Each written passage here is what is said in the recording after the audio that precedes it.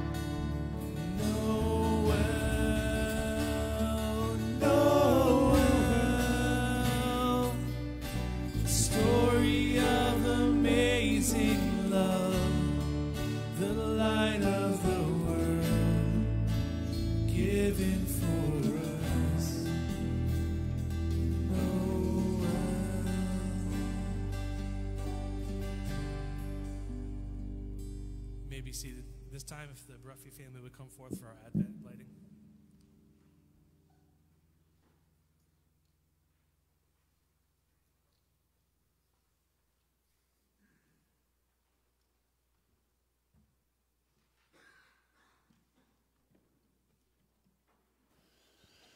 Good morning, everybody. This is the fourth Sunday of Advent. Uh, the first Sunday, we lit the candle of hope. The second Sunday, we lit the candle of peace. And the third Sunday, we lit the candle of joy. Today, we will light the candle of love. One of the most well-known scriptures is John 3:16, which states, "For God so loved the world that he gave his one and only Son. Who, whoever believes in him shall not perish, but have eternal life." This is the reason we have Advent, is the coming of Jesus to where he got to show God's love for the entire world. He, he, he, he loved us so much that he sent his only son to die for our sins. Uh, so that is why we celebrate Advent season. That's why we celebrate this week especially is for the love that he shared. Uh, scripture is Romans 5, 6 through 8. You see, at just the right time, when we were still powerless, Christ died for the ungodly. Very rarely will anyone die for a righteous man, though for a good man, someone might possibly dare to die. But God demonstrates his own love for us in this, where while we were still sinners, Christ died for us. God's people are those who have who believe in him that he came and died for us and died for our sins. So, you know, are you does his love fill, in, fill your heart? Do, can people see his love in you and shine through you? Are you willing to share his love with everybody? Let us pray.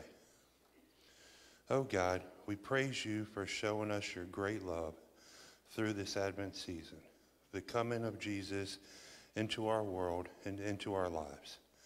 We, we pray that your love will fill our hearts to overflowing. Oh Lord, use me, use each one of us as channels through which your love can flow to many. Many of others in our community, we are so thankful for your love. It brings us hope, which gives us peace, bubbles into joy. Amen.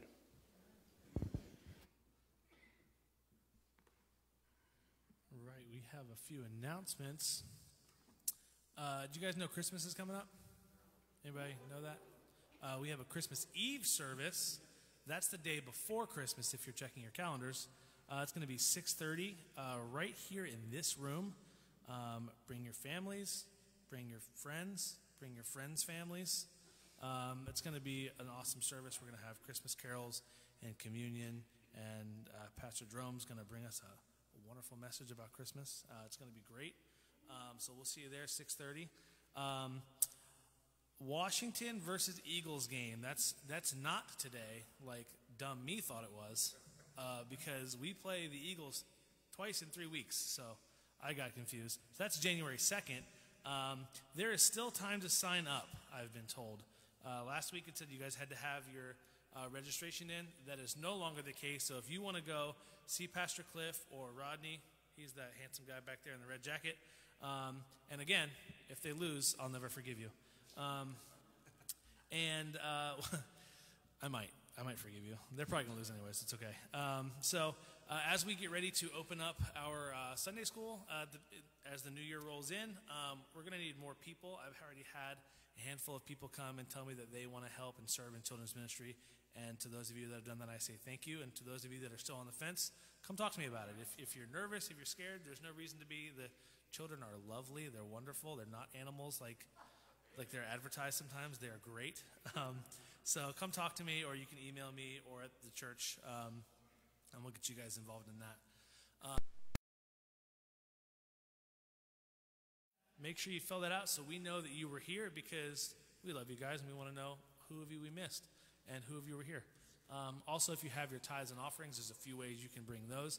There's a little church building out here. You can just drop it in the little hole in the top, or you can go to Facebook and click that blue button which takes you to a tab where you can give online, or you can go to our website and click that button at the top right that says online giving, takes you to the same page. You can use bill pay, you can use um, uh, mail, you can send checks through the mail, um, you can drive by Smoketown and throw your change out the window. We'll, I'll pick it up in the driveway.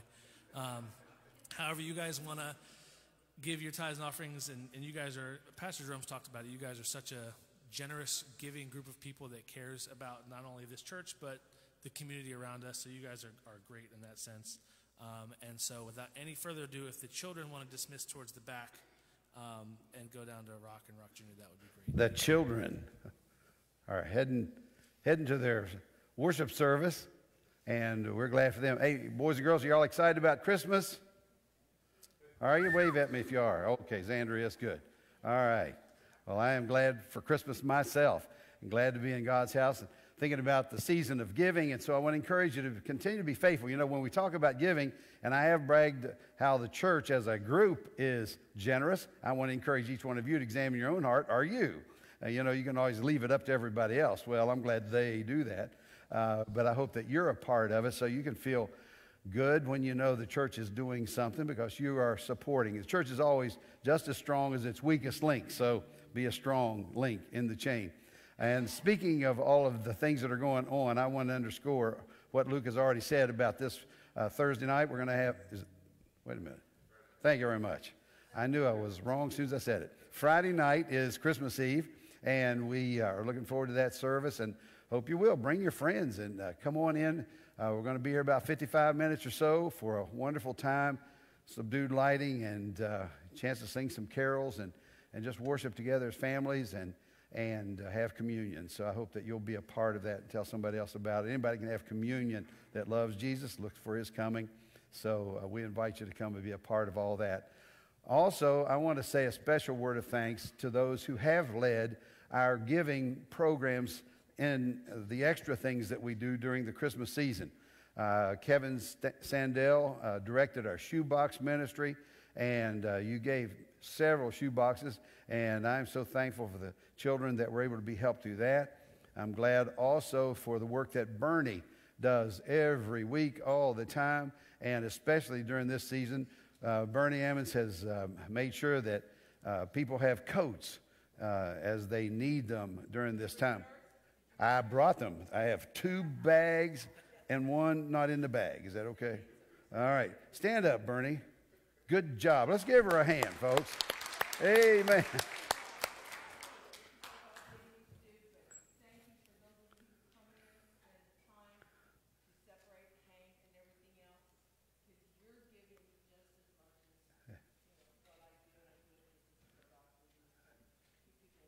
Amen. But I would also say everything rises and falls on leadership. If we don't have a leader, what would we do?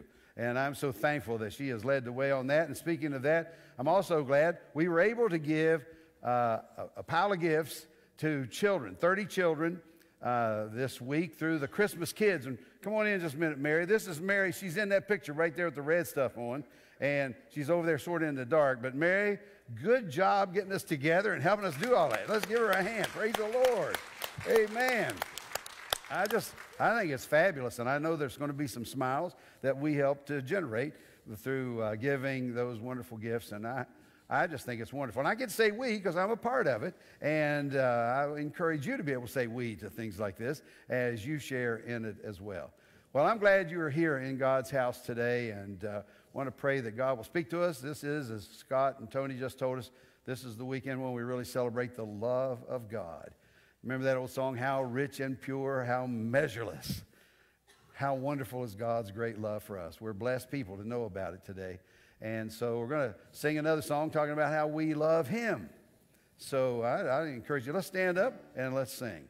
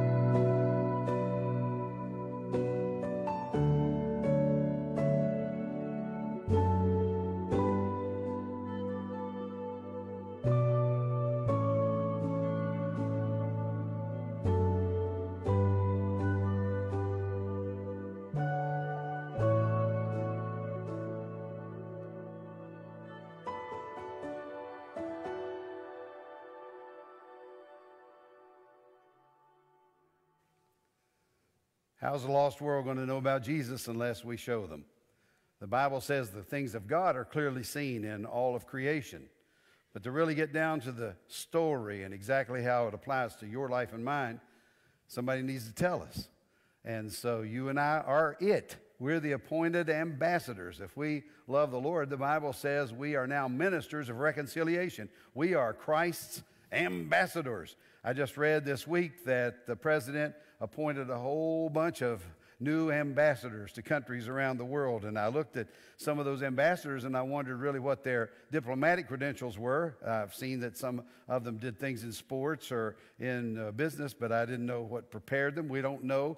But uh, if they can have a good attitude and a good spirit, they can be good ambassadors. It's amazing. You don't have to have a whole lot of specific talents to be an ambassador. You have to just know how to take good care of people, how to help people, how to love people.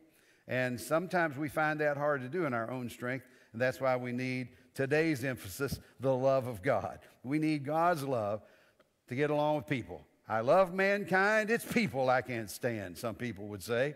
You know, and uh, we need to recognize that uh, people are the most important things on the planet.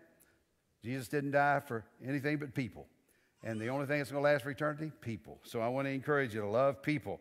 So, the fourth Sunday of Advent, we join Christians around the world celebrating the love of God and the promise of His second coming, which could be at any minute. We rejoice in the hope, peace, love, and joy of His coming, what He brings into our lives. So, Merry Christmas!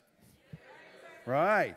We know what it's all about. We are blessed people. You ever notice how few people seem to understand what it's really all about? I mean, they got Santa and they got reindeer and they've got uh, candy canes, and they've got all kinds of junk, but they don't know the real story. And it's really not up to them to proclaim it, it's up to you and me. So I want to encourage you. It's a wonderful time of the year. In fact, at times I think I can smell it in the air the smell of Christmas gifts. Or maybe it's just a smell of greed. It's hard to tell the difference.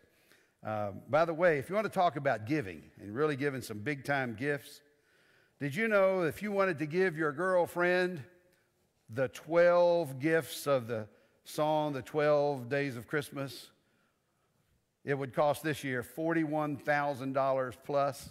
So, you know, get out your 401k and uh, decide to give that. By the way, I found out that the meaning of the 12 days of Christmas is really impressive. In fact, I have it here somewhere. it's, uh, it's amazing what this means. And it was several years ago, back in the 1550s to the 1820s, that Roman Catholics in England were not permitted to practice their faith openly. I think it was Henry VIII uh, wanted to marry and divorce and all that kind of stuff, and the Pope wouldn't let him. So uh, he said, "Fooey on you! I'll start my own church." So he started the Anglican Church there in England. And uh, so, if you remained Roman Catholic, you were a hideout. You had to do it uh, under the cloak of darkness, I guess. And so, uh, they had to find ways to teach their children the Christian faith. And so one of the ways was this song. Amazingly, the partridge in the pear tree is Jesus, first and last. You know, he's always the first and he's always the last. Two turtle doves, the Old and New Testament. Three French hens, faith, hope, and love. Four calling birds, the Gospels Matthew, Mark, Luke, and John. Five golden rings, the first five books of the Old Testament called the Torah or the Law. Six geese a laying, the six days of creation.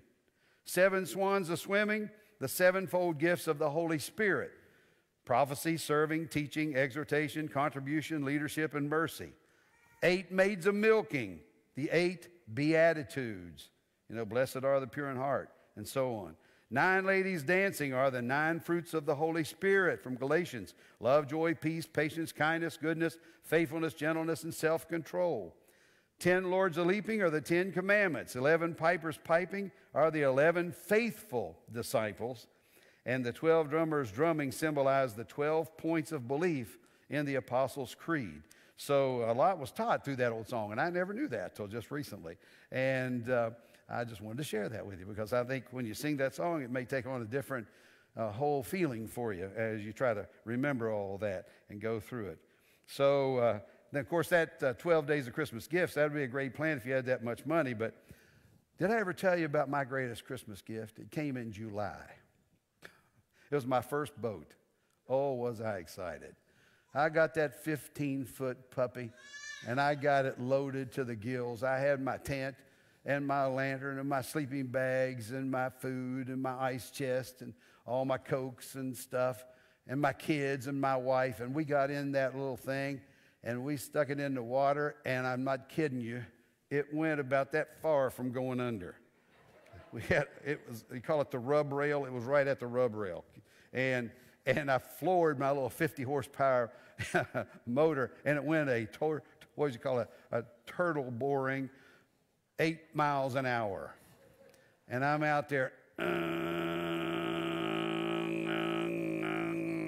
and everybody's just zing, zing, zing, you know. Their wakes are laughing at me as they whiz by. I was never so disappointed. what in the world have I done? Boo hoo! I've gone from the thrill of victory to the agony of defeat in about three minutes.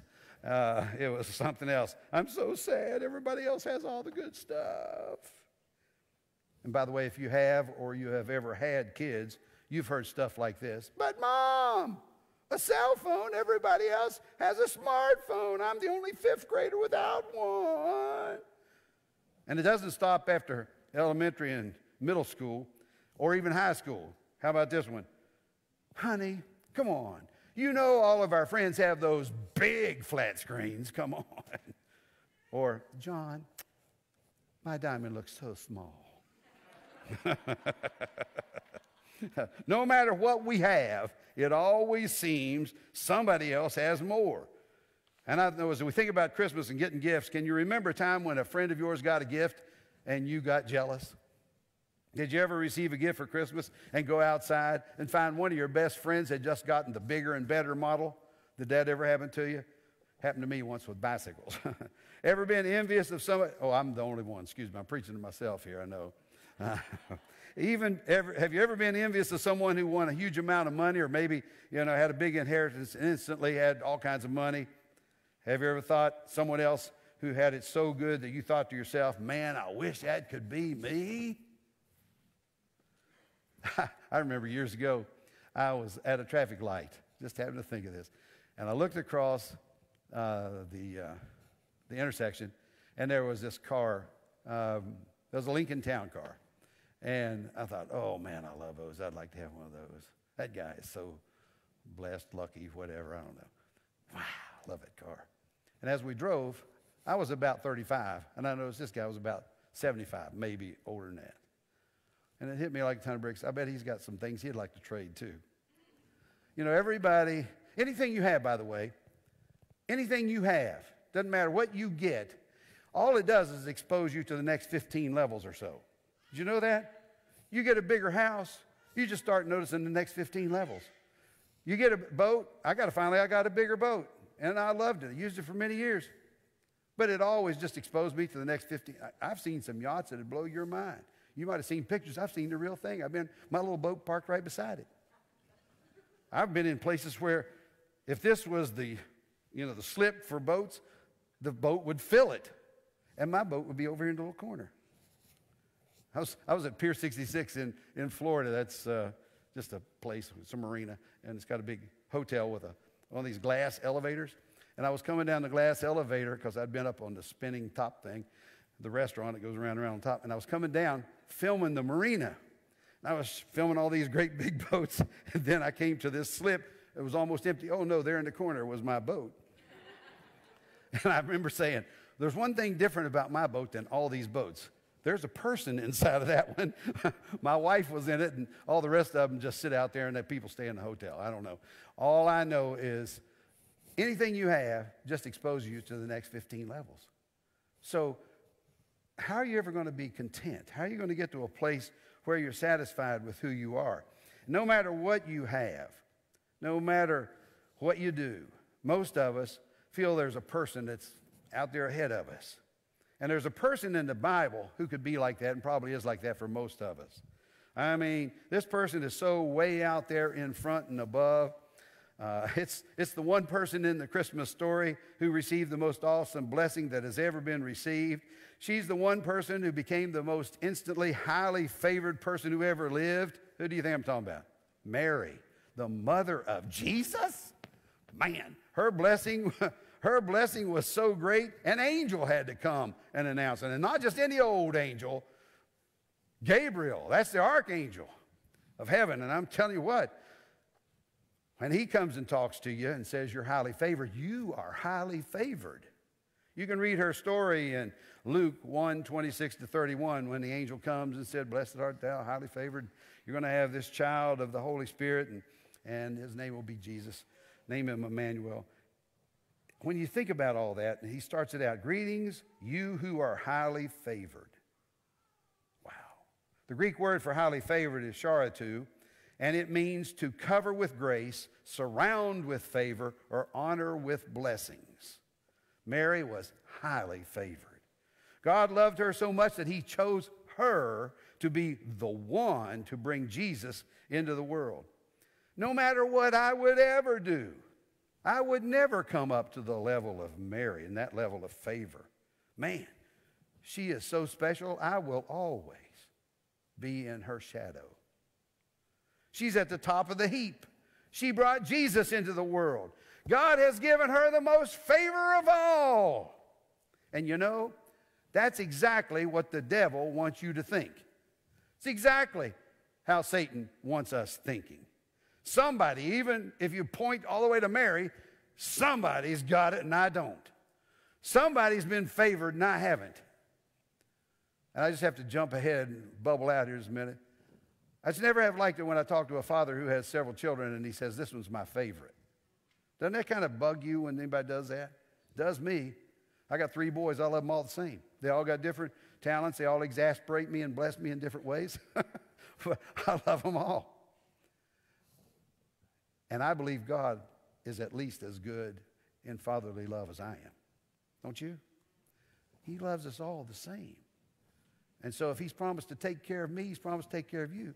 If he's promised that Mary is highly favored, I believe you have to get a hold of the fact that you are highly favored because thinking that she's way out ahead of all of us in favor is not the way God sees it.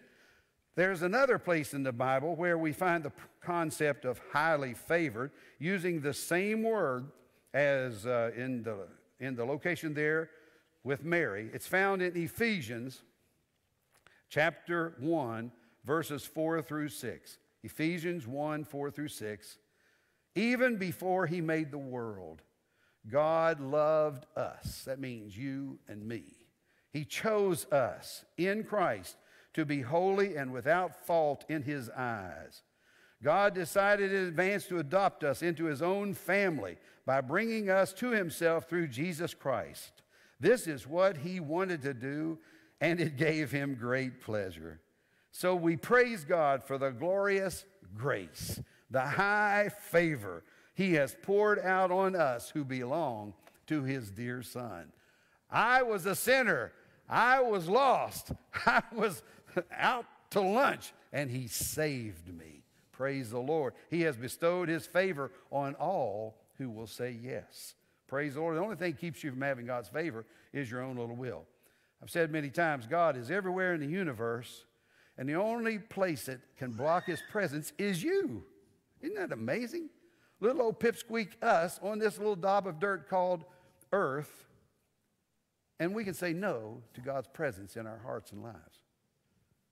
It's the only place where He can not be at times. And so I want to challenge you don't let that happen because He says you are highly favored, you're accepted by God, you are loved. I mean, I wrote it in big capital letters L O V E D. You are loved by the God of the universe. And that's what Christmas is all about. One word love. It's really about love. That's the culmination. Yeah, hope. Hope for what? Deliverance and all kinds of good stuff that would come somehow. How? And it would bring peace and it would bring joy. Why? Because it would be based on love. It's not because I want to be in charge and so I'm going to get all you people and set you free from somebody else so you can serve me. I'm going to take charge of all this stuff and I'm going to give you some new freedom so you can have it under me. No. This is the God saying, You now can become my children. Jesus is saying, You're my brothers and sisters. We're the family of God. Praise the Lord. I get wound up just thinking about what we have in this, and we take it for granted. Y'all sitting there, yeah, I got a roast on the oven. I wonder if Texas Roadhouse will have any people today, if I can go straight in. You know, this preaching gig is a pain in the neck, just trust me. Don't ask to have to do this deal. Because I preach to people week after week, week after week. Anywhere I go, 28 years at the church where I was. And you just wonder, do the light bulbs come on? Do the joy bells begin to ring? Does anything stir in our hearts? Because we really need to understand how blessed we are and not take this stuff for granted. Love. The love of God not the God that says, I'm going to punish you, burn you. Not the God who says, you throw your virgins off a cliff. Not the God who says, you got to, you know, beat yourself five times a day. None of that stuff. This is the God that said, I will die for you. I will give you guidance. I will walk with you. I will show you how to live. I will give you the peace and the power to do it. And I'm going to take you home to heaven because death is not the end. It is a doorway. Praise the Lord. That's love. That's the God I'm talking about. And we need to get really clear about something right here. God's kind of love and the kind of love we hear about in our culture, those are very different. God's love, what we hear about in our music and our media, in every direction that you hear about love these days, is different. In fact, I took a little a few years ago, I did this. I decided to preach about this morning. I took the um, the biggest hits of the last 83 years, the biggest song hits. So some of you won't remember some of these. The older you are, the more of this you'll get. But it takes those hit song titles and shows the cycle of love from the beginning moment to the maybe not so good ending moment. Here's how it goes Hello, I love you. I know you can't hurry love, but I can't help falling in love with you. Hey, I think I love you. Yes, this guy's in love with you. So much in love. No, I'm crazy in love, addicted to love. All you need is love. I know it's a young love, but it's not baby love or my secret love. It's my love. So let's go to the chapel of love and experience higher love. Oh, yes, love is a many splendored thing. But Will you love me tomorrow? Because mine is an endless love. I'm a prisoner of love, and I can't stop the feeling. So I'll be loving you forever. But he don't love you like I do. You've become a part-time lover. Do you think this is just a game of love? Then you need to stop in the name of love. I know love will keep us together, but I want a love roller coaster because you've lost that love and feeling. How am I supposed to love without you? Love is here and now you're gone. Oh, I just, I just had to call and say, I love you. I want you. I need you. I love you. I will always love you. Surely love will lead you back. So I'm saving all my love for you, the best of my love. But where did our love go? Love is blue. You give love a bad name. Oh, forget you. I've got a love hangover because you loved me and I can't stop loving you. Well, that's the way it goes. That's the way love goes. You always hurt the one you love. Besides, What's love got to do with it? so that's, that's kind of how the world sees it, right? in fact, uh, I was, I believe I was sitting in the car by myself at a revival. I was preaching a revival somewhere, so I was away from home, and, and it was after the service, and I was driving back to the motel, and uh, hadn't been home, you know, for several days or a week or so. And this song came on, real haunting in the night. As I recall, I was driving by a cemetery too. For some reason, that sticks in my mind. And so it's dark, cemetery, and, and I'm by myself. I hadn't seen my wife for a while. And, I, and, and, and Foreigner in 1985 did this song. I want to know what love is. Remember that? I want you to show me. I want to feel what love is. I know you can show me. The world wants to know what real love is because it's a misunderstood and unknown experience in our culture. People say, I love my house, I love my job, I love my baseball team, I love my dog, and I love my wife. And then they want to throw in, and I love God. I mean, what are they saying? I mean, it's the same word, everything. You know, I love everything. Yeah, well, good. Who knows what they're talking about? So we really do need God to show us what love is because our love cannot compare to God's great love. God sent Jesus into the world because of his great love for you and for me. Praise the Lord. That's why John 3:16 that Scott and Tony told us about this morning reminded us of is so big. In fact, let's just say it again. I'll put up on the screen there and let's just say it together. God so loved the world that he gave his one and only son that whoever believes in him shall not perish but have eternal life. That's a big one, isn't it? Not die, eternal life. Woo! I think I'm sticking with him.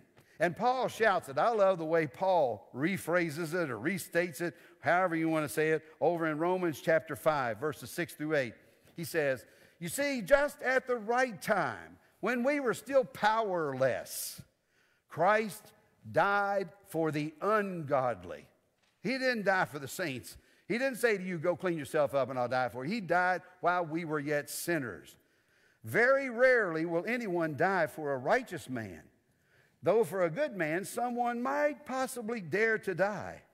But God demonstrates his own love for us in this while we were still sinners, Christ died for us. I don't know exactly how to say this, and especially to clear it up theologically. But Jesus says, Greater love has no man than this, but that a man would die for his friend. Then Jesus goes out and dies for the people that were cursing him, hanging him on a cross. He died for you and me whose sins nailed him there. So he says something and then he shows us something way beyond what we've got. You understand that? This is the love of God. So, how do you respond to this kind of love? This kind of favor? You're highly favored. What does God want you to do with this love? Well, he, first of all, God wants you to look like you're highly favored. He wants you to look like it. I mean, you're highly favored, look like it. If you know Jesus is your Savior, that means He's forgiven your sins. He saved you from eternity in hell. Praise the Lord. I can grin and smile about that. Oh, I know. Nobody goes to hell anymore. You know that, don't you? We use dial soap now, and we have smartphones. Nobody goes to hell anymore. Don't be divisive. Well, then you're going to have to go against the directives of the God who we believe came to earth and died on the cross and came out of the grave. And that's why we, say, we call ourselves Christians, right? So you can come up with a new way of doing it all if you think you can rewrite things. Or you're going to say, Jesus said, I am the way, the truth, and the life. No man comes to the Father but by me. All roads don't lead to God. Everybody's not right. I don't care if Walmart has made famous, the customer is always right. They're not. You aren't. I'm not. I don't know the whole thing, but I'm glad I've got enough of it that I can feel like I'm loved by the God who is in control. And I think I'm going to follow him because I'm not going to get out of this thing alive unless he comes back first. And I better have some plan that looks workable. So if you just want to jump around and coexist and all that, sure. We're as Christians to love and coexist in a sense with everybody. But that's not what's being said by coexist. That's shut up about your religion and let everybody else have theirs and let them go to hell. You see, we're not loving people if we don't tell them truth. If you're about to get hit by a train and I just sit there and watch you, I don't care very much, do I? But if I dive and show, shove you out of the way, one of the greatest love examples I ever knew as a little kid, probably six years old, crossed the river in a, a little town, but I know where the house was, it was right on the four lane highway. Big yard. Everybody went by that house said, Wow, it's wonderful. It's Dr. So and so. And then I hear that Dr. So and so's three year old daughter had wandered across the yard when he was out there working one day and into the street. And he ran, dived, knocked her out of the way, and got killed. She lived, he died. I'll never forget that as a six year old. wow, that dad loved his little girl. Jesus has died for you. Until somebody else comes up with something bigger than that, you ought to seriously consider what that means and how it should affect your life. And knowing that he's died, wants to save us from hell, and you've received him, it ought to make you have some joy. It ought to get up to your face. That's a song, you know, we sang a few weeks ago. I got the joy, joy, joy, joy down in my heart. Well, it needs to come out to your face, you know, make it up there. got all kinds of things I can say about that, but I'll move on.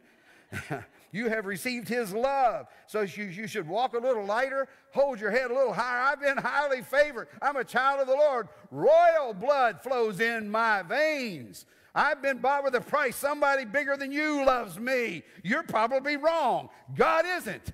Praise the Lord. Your opinion I care about, but I really don't have to worry about because his opinion is Jerome, you're worth dying for. You're worth me leading you every step of your life. You're worth me preparing a place in heaven and receiving you to myself, that where I am, you can be also. You're worth it. Do you believe that about yourself? I'm not doing some little pep talk here based on psychobabble. I'm talking about there is either a God or there's not. And if there's no God, you mean nothing. There's no way you can gloss it over. You're an accident. You mean nothing. Stuff world and swirl blew up and you came out of it. Okay, well, maybe in your farthest fast dreams that could happen. I always talk my joke about West Virginia. Did you hear about the tornado that went through there yesterday? Did $5 million worth of improvements? That's a small comparison to what people say when they say all this happened by accident. But if it did, think about the, what that means. You're an accident. You're the baby, baby, great, great, great, great bazillion times grandchild of an accident. How's that make you feel? But if there is a God, and I believe there is, not only is all this created, you are created. And there's some purpose behind it, and you got a few years to figure out what it is. And I'm just here today to tell you, he died on a cross and came out of the grave. Go listen to that one real close and get in gear with it.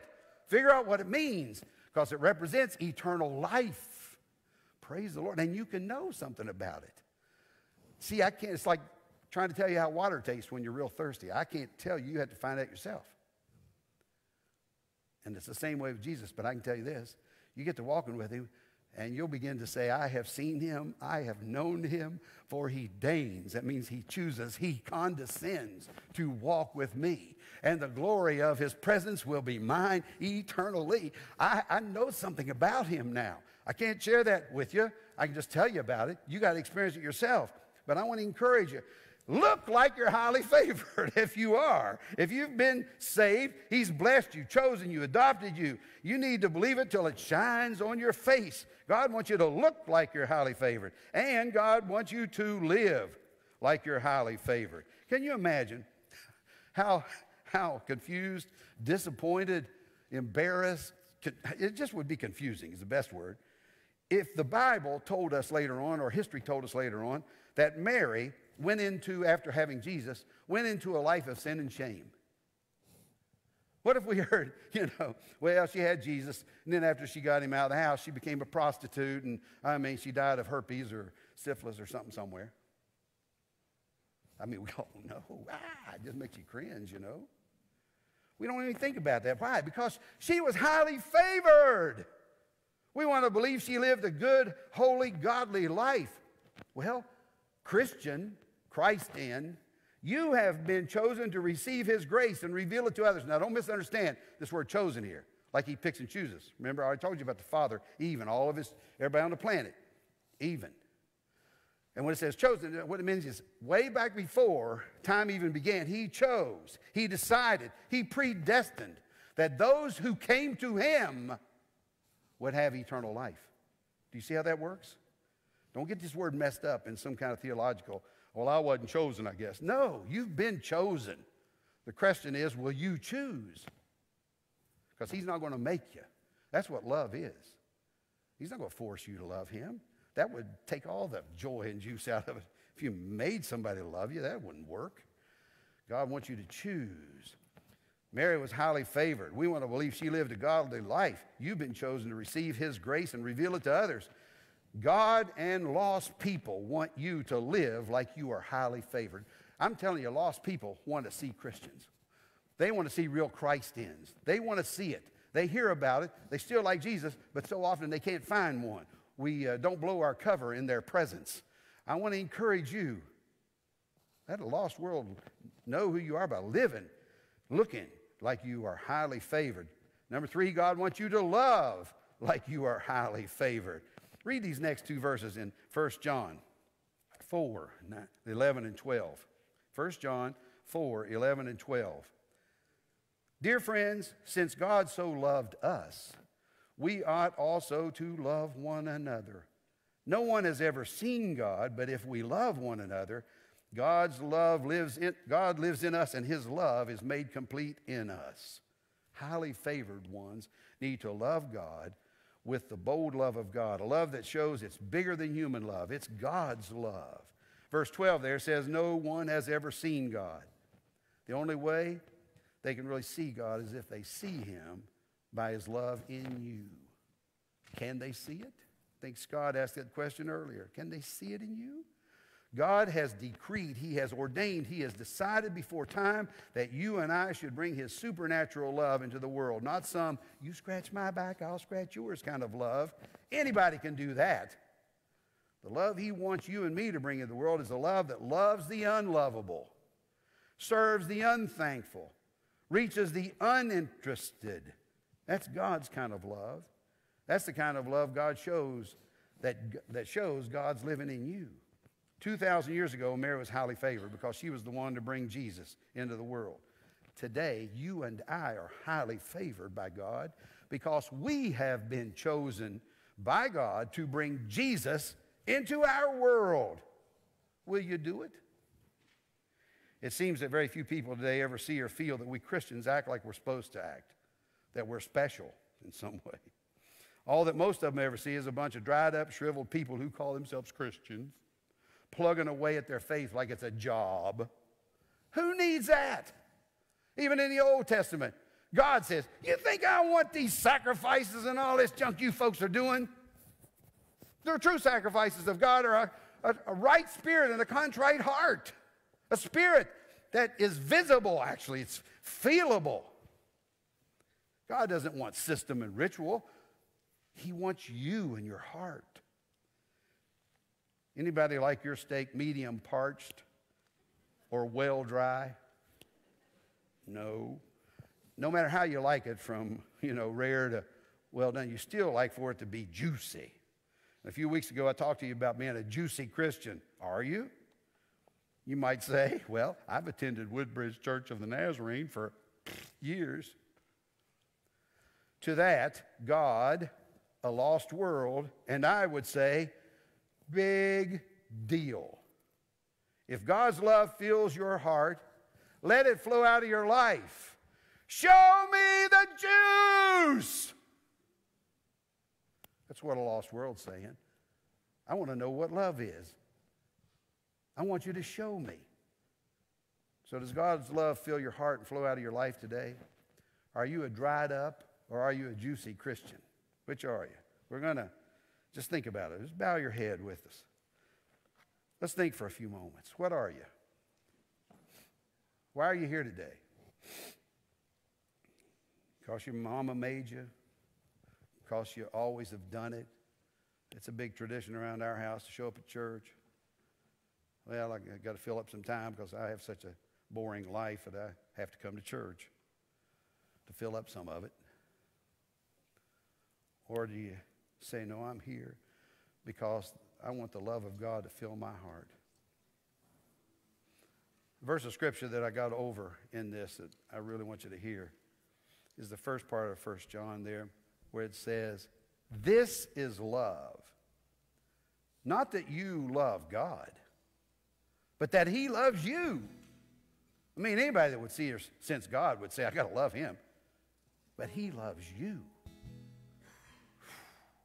And that's why we ought to love one another. If God loves us like that, wow. ought to just blow our minds. So I want us to just contemplate it. Is Jesus' love real in your heart today? I'm not griping at you. I'm trying to challenge you, like I told you in the beginning of my time here with you. I'm like a coach. And I'm also big on litmus test. If this is the way it ought to be, where are you? Is it happening in your life? Be honest with yourself and God, because that's what's going to end up ultimately happening. It's going to be you and God standing there. You're standing in front of Him, and you'll know. You'll either have peace or you'll know, no, I don't have it. Why not find that out, figure that out, and do something about that now? Maybe you're even one who would say, I'm a Christian, but you know you've let the juice drain out. You, we're leaky vessels. We need a constant infilling and filling up. My little car out here has to go to a gas station every once in a while. I don't think it's imperfect. It's a necessity of and a natural course of using the gas.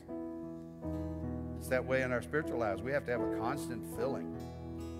Sometimes we need a whole reset. Okay, fine. Take your phone and restart it. Take your heart and life and restart it in Jesus. Get a retouch, a new, fresh touch. Or maybe you've never really come to know Jesus. Man, what a better time could you ever find than Christmas? Just say Christmas 2021, my life changed for eternity. Why? Because I allowed the God who has loved me since before I was born, since before time began, to finally come into my heart and my life in his fullness. Forgive me of my sins and empower me to live a way that gives me peace with myself and with God. Then I can have peace and love with people around me. Praise the Lord. Praise the Lord. With your head bowed, just talk to the Lord. And we're going to sing. You can keep your heads bowed. We'll, we'll sing it. It's just simple words. We change the words on the uh, on the song "Oh Come, Let Us Adore Him," and uh, we're just going to ask, tell the Lord that we love Him. And let's just talk to Him. Lead us on it, uh, Luke, and let's just talk to the Lord.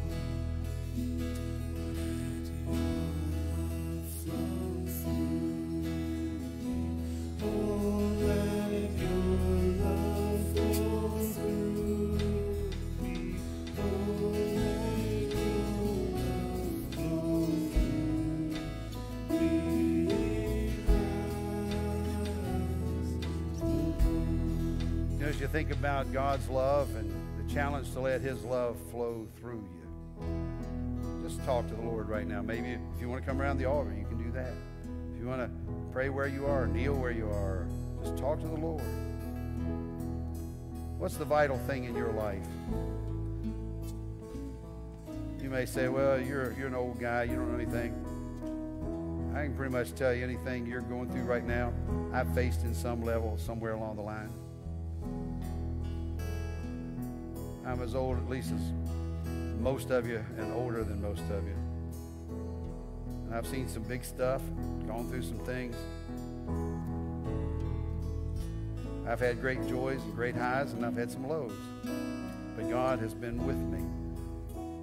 When I gave my heart to the Lord when I was 19, things changed. And I'm so thankful. And I want the joy of knowing His favor to flow out of my life.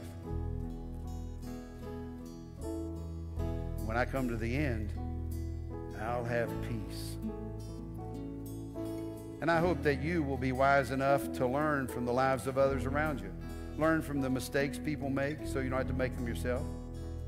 And learn from the positive experiences of people older than you, more experienced than you. Be wise in how you observe and how you make decisions because you got one life. It's moving fast. And you're one day going to face the God who made you and loved you and died for you.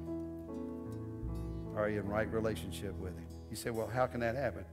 Well, the Bible makes it really clear and simple. Confess your sins. Just say, Lord, I know I'm a sinner. Forgive me. It hasn't really been my desire to run from you or be disobedient. It's just been the way I am. But I ask you to change that. Forgive me and come into my heart and give me power to live for you. Begin to grow as a Christian and know what it means to experience the great high favor of God, the love of God. Thank you, Jesus, for hearing my prayer. I trust and believe you. Let's sing that chorus one more time. Oh, let your love flow through me, Christ the Lord. Make it your prayer. Make it your prayer. If you know the Lord today, make this your prayer. Oh, let your love flow through me. Oh, let your love flow through me. Oh, let your love flow through me, Christ the Lord. Lord Jesus, I thank you for the privilege to be people who have heard your message, who have experienced your love, who celebrate your presence in our lives, and know that Christmas has really happened in our hearts. So we can go into our world with a joy, a peace, a hope, and most of all, a love that they desperately need.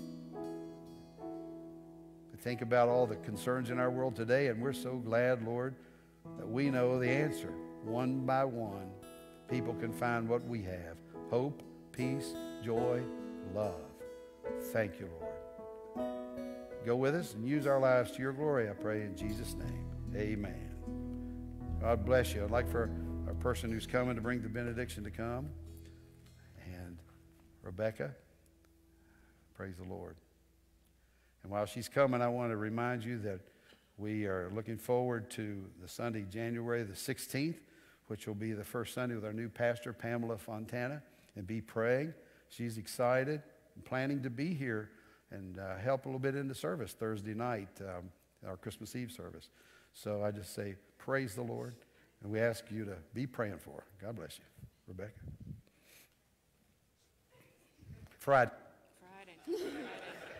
See, I just make sure y'all are paying attention. That's right.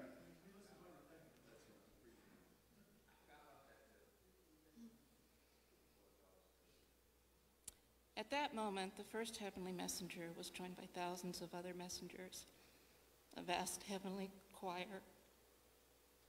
They praised God.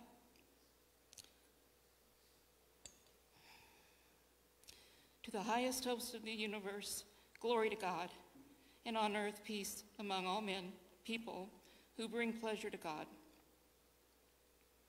As soon as the heavenly messengers disappeared into heaven, the shepherds were buzzing with conversation. Let's rush down to Bethlehem right now. Let's see what's happening. Let's experience what the Lord has told us about.